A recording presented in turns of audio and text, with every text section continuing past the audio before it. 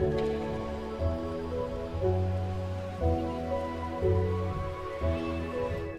what is going on guys? In this video today, we're going to be going over the 8 most iconic and influential controller Fortnite players of all time. Early on, pretty much all the biggest Fortnite competitive players and content creators played with mouse and keyboard, and it really did take a while before controller players were more well represented. The players on this list have all paved the way, so to say, and they've all contributed in some way, shape, or form to that change. I'm mostly going to be focusing on the competitive side of things in here, so you won't see someone like CeeDay, for example. He definitely is super influential and does play on controller, but he doesn't really revolve his content around that in any way, if that makes sense. So without further ado, let's get right into it. Alright, so the first player on our list in the number 8 spot is Innocents. Inno's one of those guys that's probably never been the best controller player in the world at any point, but he's just consistently been somewhere near the top for roughly the last two years or so.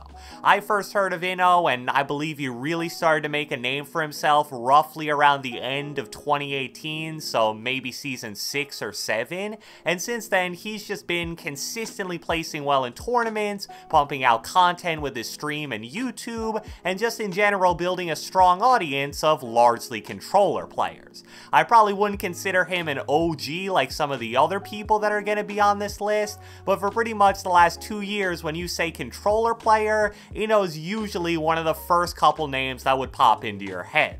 At the number 7 spot on our list, we have Issa. The funny thing is, if you're relatively new to Fortnite, you may not even know who this is. Issa was one of the earliest controller players that was legitimately a top level pro. In mid to late 2018, he had top 15 finishes in all three of the earliest Fortnite competitive events, the Summer Skirmish, the Fall Skirmish, and Winter Royale. It really can't be understated how significant it was to see a controller player placing well in these crazy stacked events, when at the time, like I said, it was really all mouse and keyboard players.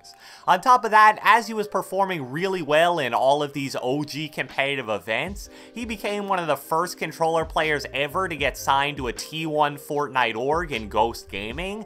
However, shortly after qualifying for and placing 37th in the solo portion of the World Cup, Issa decided to take a step back from competitive Fortnite due to problems he was having with his hand and wrist. He did make a return about 9 months later, right around March of 2020, and even after that break of close to a year, he still had some very respectable placements. So it's to basically pave the way for all future competitive controller players, and I think this list would just be flat out wrong if he wasn't on it.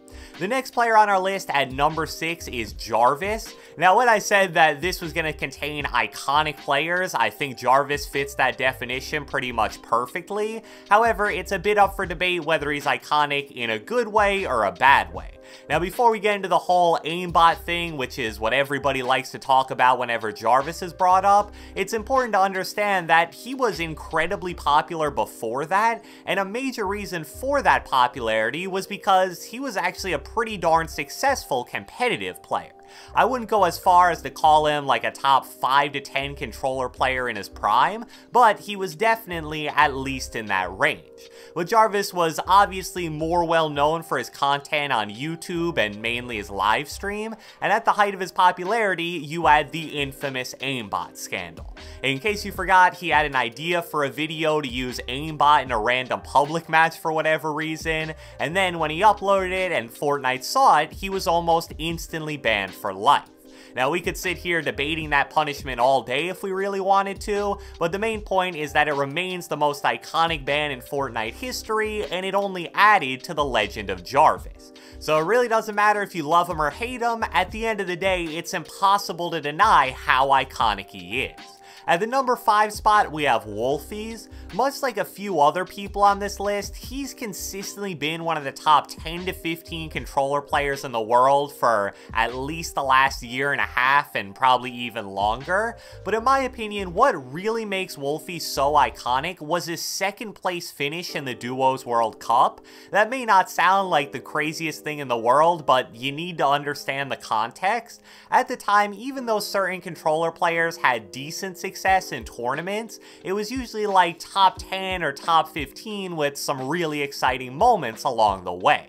So when Wolfies placed second and won $2.5 million in the Duos World Cup, that was just an insane moment in controller Fortnite history, and it really showed that success was possible in even the most stacked Fortnite event ever.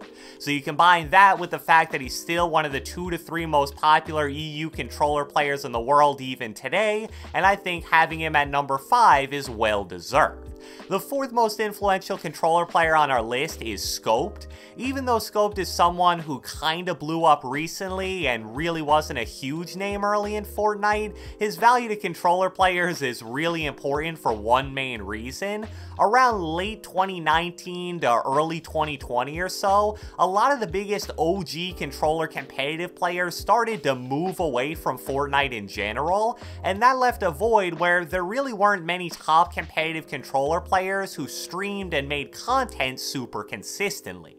Scope is a player who really stepped up and filled that void, especially when he started duoing with Tfue. Even about a year later, he's still one of the two to three most popular controller Fortnite streamers out there, and there's definitely no indication that's going to change anytime soon.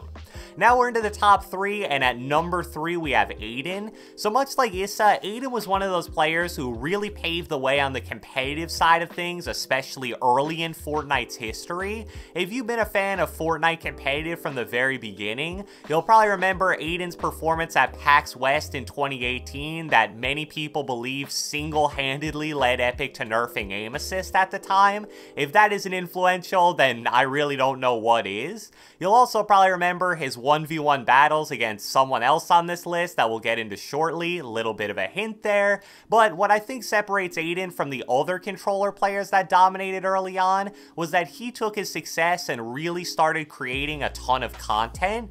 Issa, for example, didn't really stream or upload YouTube videos all that much, but Aydan definitely did, so his streams especially really exploded in popularity because it was really the first chance controller players had to consistently watch live live gameplay of arguably the best controller player in the world.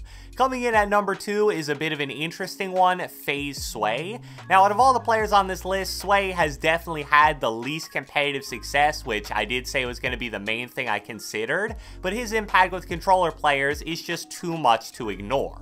He was the original super cracked builder, editor, and general creative warrior on controller, and his level of popularity is really unmatched when it comes to that even though just calling him a creative warrior is undermining his skill a bit because he is an insane player in general, but everybody who has ever practiced building or editing has basically had visions in their head of someday having the mechanics of Sway, and his popularity across all social platforms is just crazy. So a bit of an exception to include him since he's a tad bit different than most other players on this list, but I don't think anybody will really say that he doesn't belong.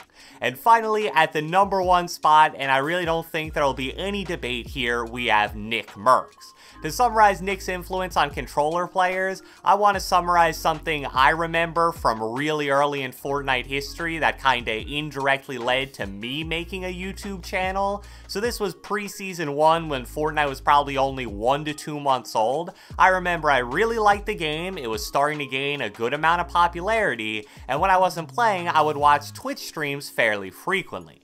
At the time, if you looked at the top 20 streamers on Twitch in terms of views, here's what you would have seen pretty much every time. If NICKMERCS was live, it would be him and 19 mouse and keyboard players. If NICKMERCS wasn't live, it would be 20 mouse and keyboard players. Controller players wanted to watch other controller players play, but NICKMERCS was the only controller player with enough popularity to serve that need. He was definitely one of the most popular and best controller players early in competitive Fortnite. He was really the first controller player to truly emphasize the idea of controller gang and try to basically unite the community. His influence is unmatched and there's nobody else that deserves the number one spot more. So I hope you guys enjoyed this video, and if you watched the entire thing, be sure to let me know with a comment down the comment section below. What do you think about my list, and is there anyone that you believe should have been in it? Be sure to leave a like, leave a comment, subscribe, turn on post notifications, do whatever the heck you want, and I will catch you guys next time.